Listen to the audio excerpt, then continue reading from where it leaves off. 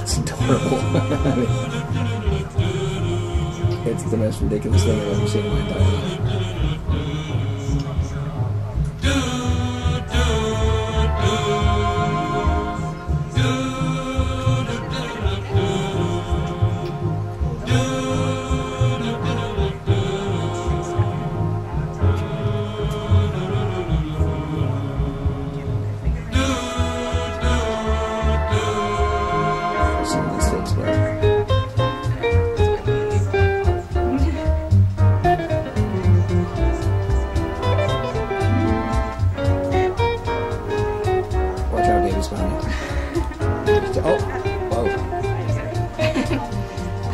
And for the viewers at home, he's not trying to eat the squirrel. He just wants to be up in the stuff, but still, you know,